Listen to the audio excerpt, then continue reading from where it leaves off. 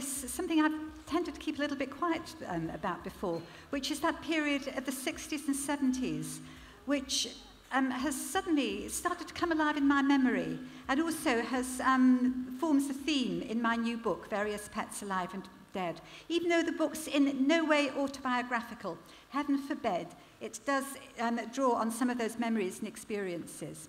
So in 1970, I was living in London with my boyfriend and doing a PhD on um, probably the world's great squatter, Gerard Winstanley, um, the founder of the Diggers. And there he is digging on the commons at St George's Hill and um, seeking for the true meaning of freedom. Uh, the 1640s was a time of great social upheaval and there was a civil war and the enclosures had already started and there were lots of people had been driven off the land so there were hungry landless people wandering around. Winstanley himself had been bankrupted um, by the civil war. And so he acquired quite a following by preaching that the land should belong to everybody. And they marched up onto St George's Hill um, in, near Cobham in Surrey and built themselves makeshift huts and started to plough up the land and plant vegetables to feed themselves. Can we have the next picture?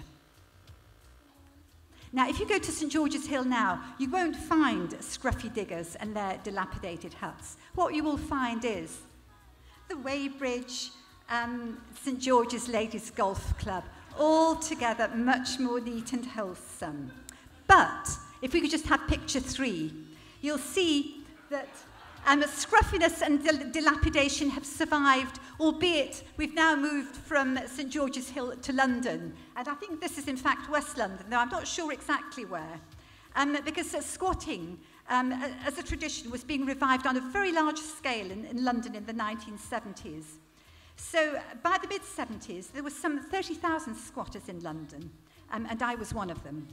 Whole streets and hundreds of individual houses were boarded up um, by the council waiting for redevelopment. I think in this area around Ladbroke Grove, you had um, Westway, didn't you? And um, other people I used um, were squatting around Villa Road and um, Tolmers Square and places like that. And so there were these hundreds of empty houses boarded up.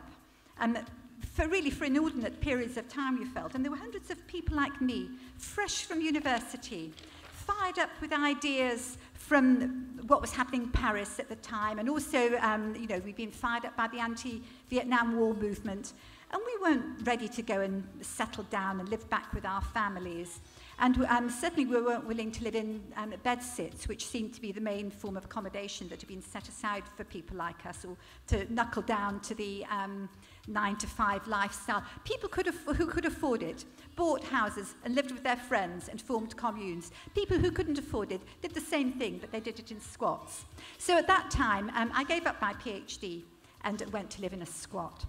And I can remember the most exciting um, moment of breaking into my first ever squat. And it was sort of 11 o'clock at one night in June, and I had my long, long hair and my flared dungarees. And was sort of, there were three of us, three women, creeping up the road with um, a torch in one hand and a brick in the other, and a sleeping bag and a backpack on our backs. And it was a very scary moment because it, um, although squatting, in the sense of being in a house, was not illegal, um, breaking and entering was. So if you got caught before you'd managed to change the locks, you were still outside of the law and you'd, you'd get arrested and prosecuted. And in fact, that did happen to me once. Um, but um, that time, this first time, we were lucky. We'd staked out our house. We knew it belonged to the council and we knew it had been empty for two years. What we didn't know is what it was going to be like when we got in. Um, so we broke a pane, unscrewed the latch, heaved up the... Um, the, the, the window frame and we scrambled in, in, of course, into the darkness with our torches. And we didn't want to be seen walking around with our torches because that would um, arouse suspicion. So we, as quickly as we could, we just crept into the back of the house and sort of unrolled our sleeping bags and tried to get a bit of sleep, though it was all very scary. And then, round about five o'clock, just as dawn was breaking, there was this sort of huge, the whole house started to shake and there was shuddering sound like an explosion. And we thought, oh my God, you know, we're being raided. But in fact, um, it was the first commuter train of the day on the Liverpool Street, Fenchurch Street line, which actually ran along the back of our garden, certainly less far than at the back of it, probably about as far as the end of the stage there. And um, so we got up and started to explore our new home. And it didn't take us very long to discover why the council had decided it was unfit for human habitation. And it had no bathroom. And in fact, as far as we could tell, it had no, no lavatory at all. Um, we, you know, which was quite bad news because a lot of things you can live without, but um, that's a bit essential. And eventually, we did locate a lavatory in the back garden. Um, but of course, to get into the back garden, because we didn't have a key, you had to um, open up the, the back window and climb out through the window and go round into the backyard. And there was, there was a lavatory. It had no door. And as I say, about um, you know, 10 metres away, the uh, main train line, the trains were flashing past by now. But fortunately, they were going quite fast, and only very occasionally did they stop. Um, the other um, thing that we discovered, of course, was that in the kitchen, um, there was no cooker, but that's all right because um, I think somebody had a baby belling left over from a previous life. And there was only one single cold tap. There was no hot water in the house at all. And um, there was one of those stone butler sinks, which I know, know now are regarded as terribly chic, but whenever I see them, I just view them with absolute horror. Because actually, there was nothing, you know, now you have, you have a sink with something at the side where you can put things, but in fact, everything we washed ourselves, the children, uh, the clothes which couldn't wait for the laundrette, and the dishes and the food. It all happened in that same sink. It was, it was dreadful. Um, and I have to say that. Um, it, it didn't last so long. Can we, can we have the next picture? Okay, so this was, this was our next squat, and as you can see, um, instead of having a railway line at the bottom of the garden, um, we had a tower block. I don't know if you can quite see it up there. This was also in Bow. I don't know whose motorbike is, but isn't it groovy? Can you see? Oh, you can't quite see the leopard skin seat, but it just finishes the look of the house, doesn't it? Um, and this house, actually, it was amazing. It had a bathroom. It's the, it was the only bathroom in the row, and the gas heater had a big um, condemned sticker on the boiler, but we didn't care. We got in there and wallowed in hot water. It was very nice. Um, I've been back to that area since. I looked at my old houses and I was astonished to see that these places now sell for half a million. And in fact, although it, this was a squat then, there are still squats in the same road and the street has never been demolished. And I think the council have changed their houses, their minds about it now. And they, th- they think actually these little houses are quite nice and a bit nicer than what replaced them. So um, when we think about the 1960s, when I started to write about the 1960s, the things that I remembered were the lifestyle things, you know, the really the funny clothes that we wore um, and the music um, we listened to, and okay, the drugs and the sex. We'll draw a veil over those. Can we have the next picture now? And here we are in the kitchen, and th- th- this is the interior shot of the same house. You can just about see me, second on the left. And you can see actually more or less what we're having for dinner, which is a big saucepan full of rice, brown rice, overcooked, and a big bowl, which was either lentils or beans, because that's what we ate. And um, so, so we, um, we lived, we, share, we shared quite a lot of possessions. Um, we shared, obviously, we shared meals, uh, we shared some money, we shared childcare, um, which was quite important, and we, sometimes we shared sexual partners. And just, just to reassure you, the children who lived with us in the squat actually have turned out really lovely. They're, um, they're resourceful, they're successful, they're well adjusted, and um, they're, you know, they're in good jobs, they earn good money, um, and they're still a bit rebellious. Um, but what's so much harder to remember, when I came to write the book, what I found was much harder to remember what was going on in our heads. What on earth did we think we were doing? And I think that we thought that in some way we were sort of engaging with the masses. Um, and when I remember the things that we did, um, in a way, they seem rather quite crazy, but in fact, in a way, they're things which are quite a good idea. One of the things that we did was that we organised a food co-op. Um, so um, the, the, the, women in our commune, and also some of the women from the council estate and uh, from the nearby houses, um, we, we got together, we pooled money, and we used to go to the cash and carry and bring back food, which would then divide out between people. Now, um, I have to say that the women from the um, housing estate, they weren't interested in brown rice and lentils. What we came back with was butter, cheese, bacon, sugar. That's what they wanted. And, we, and, and doing it cooperative, we did actually manage to save a bit of money over what they could um, get those sort of um, things for in the supermarket. And, the sausages, there, was, there were always a lot of rather nasty sausages. Um, and the other thing that we did was that we, we ran a play group. And um, this was in another squatted house. It was at the end of the road. And it was actually much better condition than the houses that we lived in. It, I don't know why it had been um, closed up by the council. But um, it certainly it had a lavatory because the children would have needed that. And it had a basin. And so the front room was, was turned into um, a play group. And the, the, the poor children who, who we were all practicing on really in the commune, sort of practicing bringing them up as right on human beings. And their little kids from the neighbourhood who weren't sure about this right on business business, but they liked to have these weird people to play with.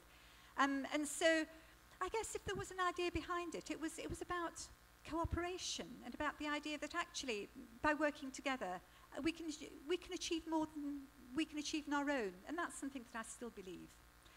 And then things changed and we all moved on and we settled down. And I moved up to Leeds and then on to Sheffield and I started to write my uh, still unpublished novels. Okay, um, can we have the next picture?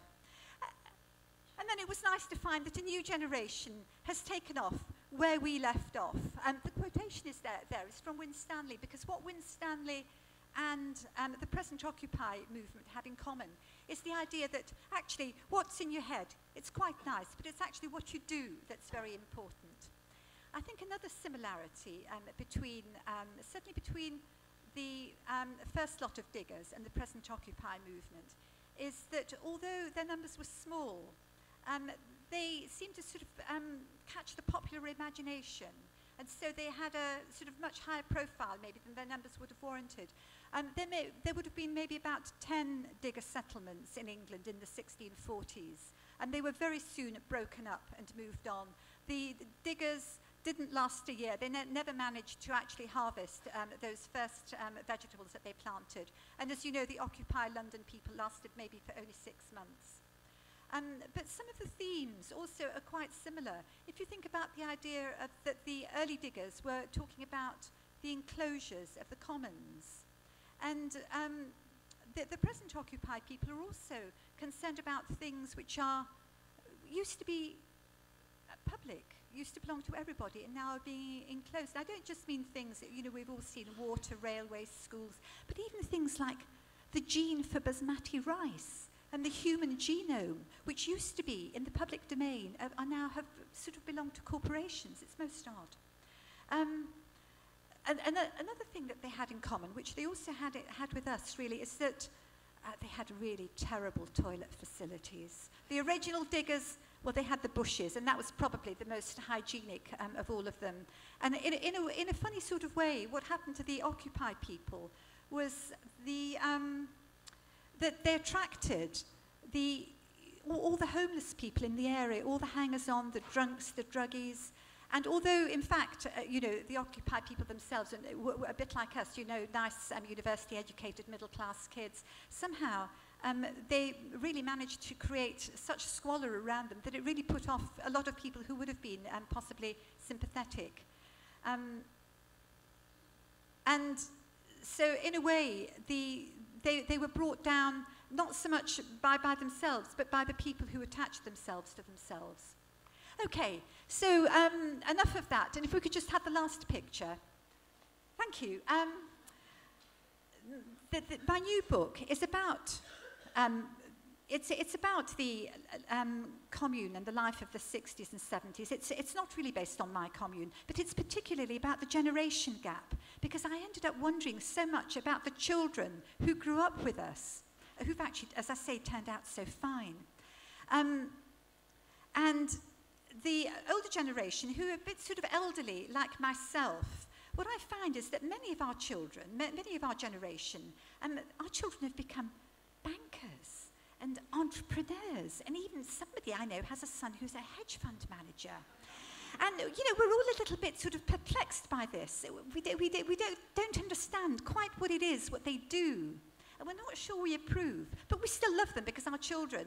And I think that they still love us, even though they think that, that, that we're um, slightly bonkers. So in my novel, we've got the, the, the, younger generation, are about the, they're the same generation as the children who lived in the commune. One of them's grown up to be a teacher with a cleanliness fetish. The other one works in a bank. At the time of the um, Le- Lehman Brothers collapse, and he gets embroiled in all the dodgy practices which have um, brought us to where we are. And they, they laugh at their parents.